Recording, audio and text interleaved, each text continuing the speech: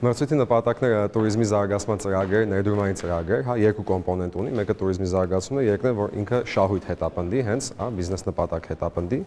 հա, Շատ շատ փայլուն է անցել, ստացել ենք 60 հայտ, որից առաջին փուլով ֆիլտրել ենք ստացել ենք 20, երկրորդ փուլով ֆիլտրել ենք ստացել ենք 5 ժյուրի անդամների միջոցով եւ այսօր 5-ից պիտենք առաջին, երկրորդ, երրորդը, որ ստանան գումարային մրցանակները։ Հոգաբարձների խորհրդի այսօր նիստ եղավ մեր Հայաստան զարգացման հիմնադրամի եւ միջև վաղը երեկոյան 5-ը խոսկացան, որ քվեարկությունները կավարտվի եւ մենք իմանանք հաղթողներին։